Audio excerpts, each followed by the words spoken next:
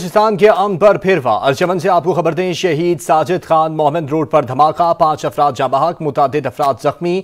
धमाका जे यू आई नजरियाती के सूबाई अब्दुल कादिर लोनी की गाड़ी के करीब हुआ। जे यू आई नजरियाती के सूबाई अमीर मौलाना अब्दुल कादिर लोनी महफूज रहे और पुलिस का कहना है कि कानून नाफिज करने वाले इदारों ने इलाके को भी घेरे में ले लिया है। बलोचिस्तान के अम पर एक मरतबा फिर से वार किया गया है। चमन में शहीद साजिद खान मोहम्मद रोड पर धमाका हुआ है। पाँच अफराद जाबाक हुए हैं। मुतद अफराद जख्मी हुए हैं। धमाका जे यू आई नजरियाती के सूबाई अमीर अब्दुल कादिर लोनी की गाड़ी के करीब हुआ। जे यू आई नजरियाती के सूबाई अमीर मौलाना अब्दुल कानूनी महफूज रहे हैं और कानून नाफिज करने वाले इदारों ने इलाके को भी घेरे में ले लिया है। बलूचिस्तान के अन पर एक मरतबा फिर वार हुआ है। बलूचिस्तान में के हमले हो चुके हैं। इस मरतबा चमन शहीद साजिद खान मोहम्मद रोड पर धमाका हुआ है।